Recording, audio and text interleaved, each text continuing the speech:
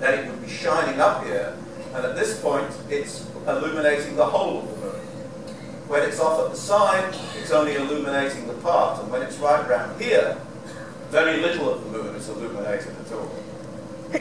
And of course, you may not realize, but I bet you've seen the pictures, that the Earth, of course, would show phases just the same if you were to view it from the moon.